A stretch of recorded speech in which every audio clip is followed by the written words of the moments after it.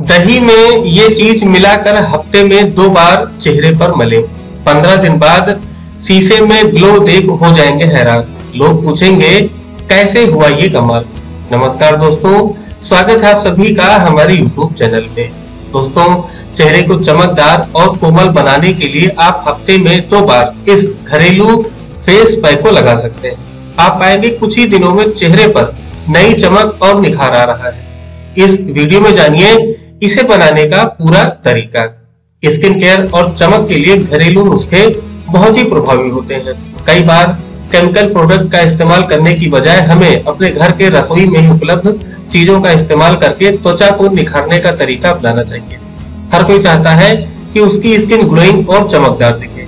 हालाँकि बदलते मौसम में अपनी स्किन टोन को बनाए रखना बड़ा मुश्किल है, लेकिन कुछ घरेलू नुस्खे हैं जो चेहरे को सॉफ्ट और चमकदार बनाए रखेंगे इसमें ना कोई झंझट है, ना कोई पैसे खर्च होंगे। यह हम आपको बता रहे हैं ऐसी दो चीज़ों के बारे में जो चेहरे पर अद्भुत चमक ला सकती है। आपको बस कुछ दिनों तक इन दोनों का पेस्ट अपने चेहरे पर लगाना है और जल्दी ही आपको कमाल का रिज़ल्ट देखने को मिलेगा। अगर आप भी ग्लोइंग स्किन के लिए घरेलू उपाय, चमकदार त्वचा के उपाय या फेस को चमकाने के तरीके तलाश रहे हैं तो यह नुस्खा आपके लिए बहुत ही कमाल का है। पहला है हल्दी। हल्दी का उपयोग त्वचा के लिए सबसे प्राचीन और प्रभावी तरीकों में से एक है।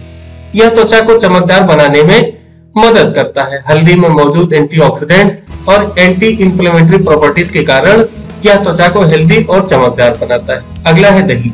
दही में लैक्टिक एसिड होता है, जो स्किन के लिए बहुत ही फ़ायदेमंद होता है। यह त्वचा को नरम और मॉइस्चराइज करता है और चमकदार बनाता है। बात करते हैं कैसे फेस पैक घर पर ही बनाए। एक कटोरे में दो चम्मच हल्दी और एक कप दही ले। इन्हें अच्छे से मिलाएँ ताकि एक घना पेस्ट बन जाए। अब इस पेस्ट को अपने चेहरे पर अच्छी तरह से लगाएँ। इसे लगाने के 15-20 मिनट के लिए छोड़ दें और फिर हल्दी का पेस्ट धो दें। ध्यान दें, आप इस पेस्ट को अपनी आँखों के चारों तरफ़ न लगाएँ। बात करते हैं इसके फ़ायदे की। यह ग्लोइंग और हेल्दी स्किन पाने में मदद करता है। यह त्वचा के रूखेपन वाले हिस्से को निखारता है। यह त्वचा को नमी प्रदान करता है और उसे आराम देता है। बात करते हैं कि कौन कौन सी सावधानियाँ इसमें बरतनी चाहिए।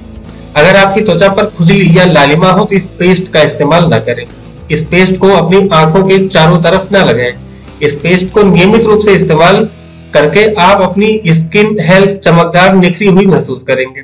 तो अब घर पर ही इन दो चीज़ों का पेस्ट बनाएँ और पाए चमकदार त्वचा का तोहफा।